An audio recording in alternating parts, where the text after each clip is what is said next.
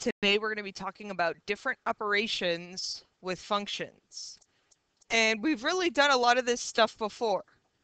What you need to realize is this notation here means I'm adding two functions together. So when you see f plus g in parentheses with an x outside, that just means f of x plus g of x. A common mistake is students like to multiply another x inside. No, it's just adding two functions together. When you see the notation of f minus g, that just means f of x minus g of x. fg just means f of x times g of x.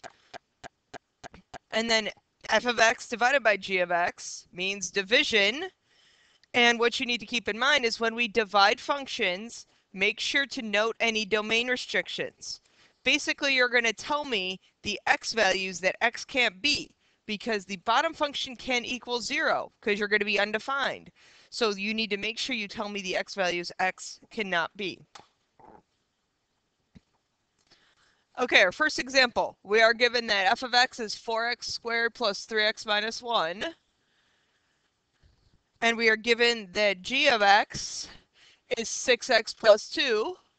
And what we're trying to do is we have this notation again means f of x minus the other function of g of x.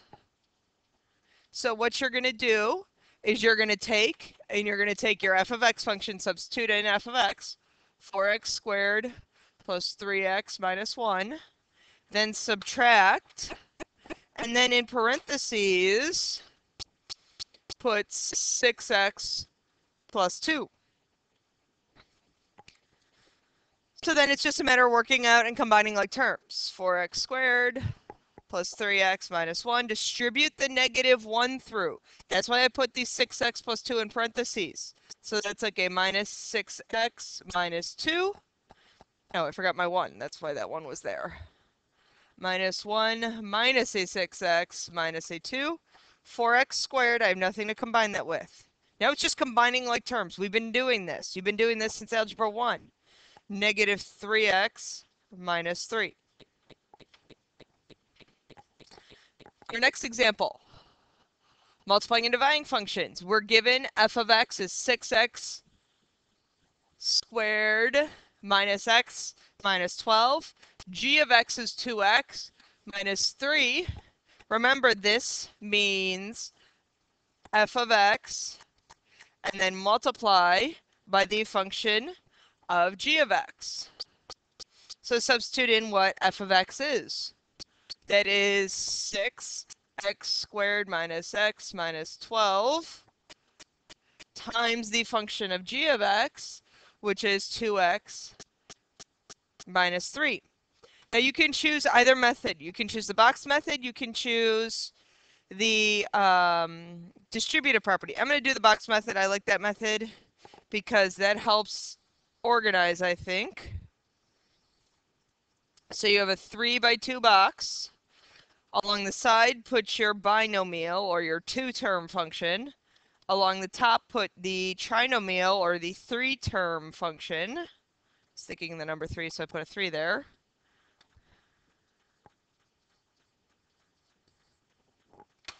Now it's just taking and multiplying. 6x squared times 2x is a 12x cubed.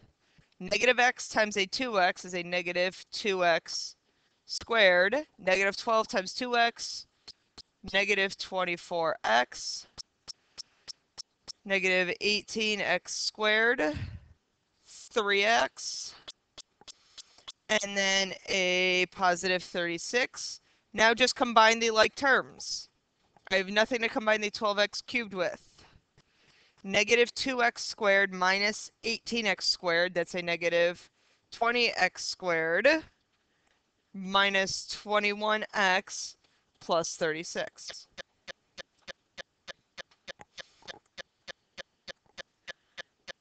Now dividing functions, and I have a note here. Make sure when we're dividing functions, we note any domain restrictions, meaning the bottom can't be zero. You can't divide by zero. f of x, g of x.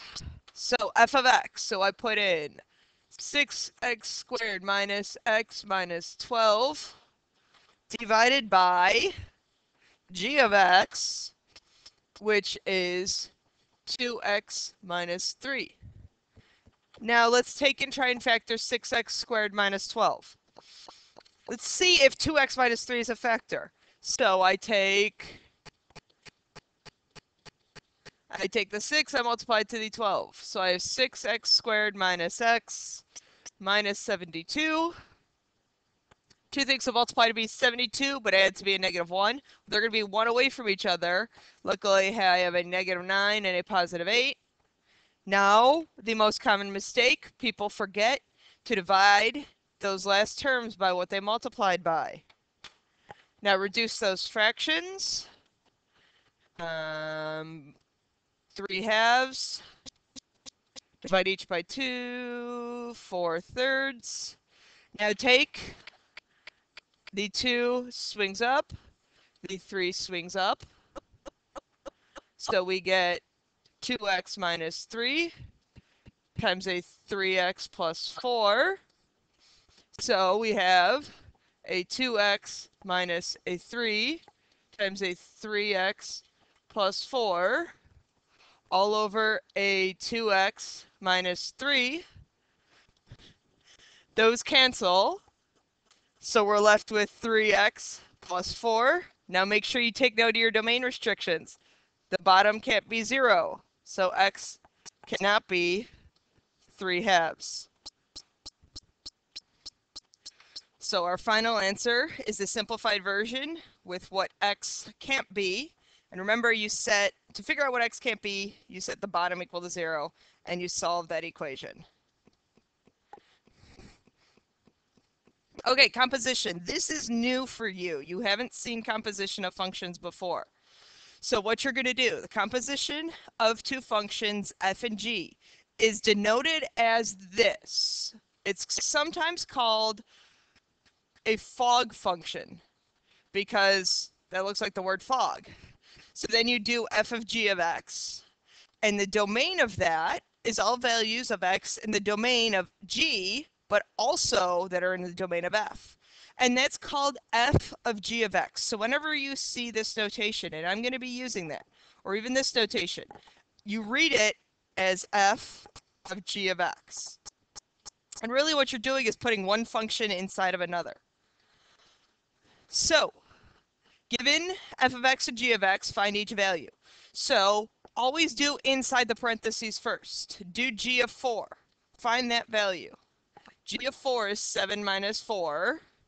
g of 4 is going to be equal to 3. Now substitute 3 in. So I'm trying to find now f of g of 4. Well, g of 4 was 3. So now plug in 3 wherever you see an x. So I have 2 to the x because that's what 2 to the third because 2 to the x is what f of x was. 2 to the third, that's going to be 8. Okay, now do the inside first. Find f of 4. f of 4. Well, that's 2 to the fourth. That's going to be 16. Now substitute that in. So we're going to find G now of 16. So G of 16 is going to be 7 minus 16. Well, that answer is going to be a negative 9. So that's with numbers. Now what we're going to be doing we're going to be doing this with functions. And I have kind of a notation here because we're going to be finding the domain of f of g of x. So when we're finding the domain restrictions, you have to look at the original. So g of x, our domain restriction is, look at what the bottom can't be since it's a rational function. x cannot be 1. f of x, I have no domain restriction since it's a polynomial. So I'm looking for f of g of x. g of x is the entire function of x over 1 minus x. Now, f of x, f of x is x squared minus 1. I have x squared minus 1.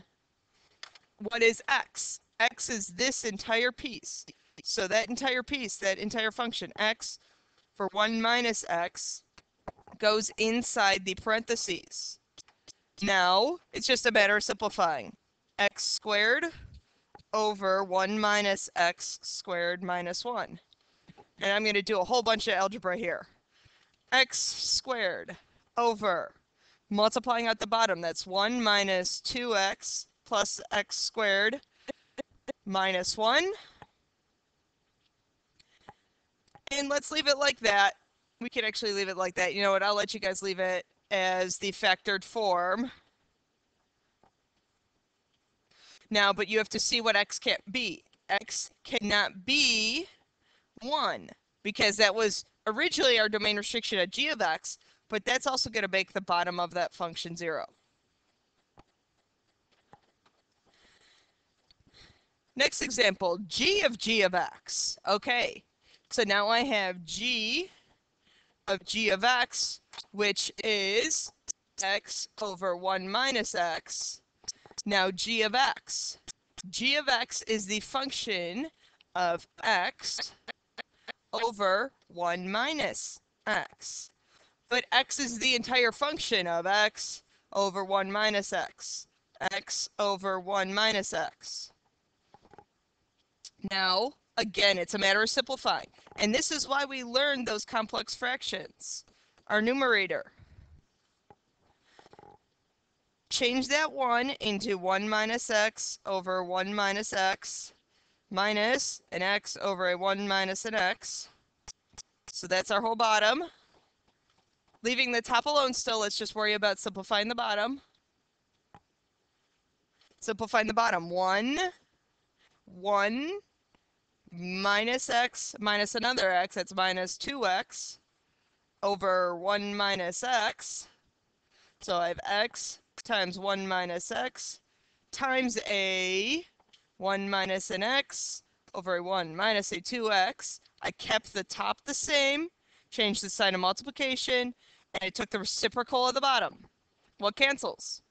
Those 1 minus x's cancel. So I'm just left with x over 1 minus 2x.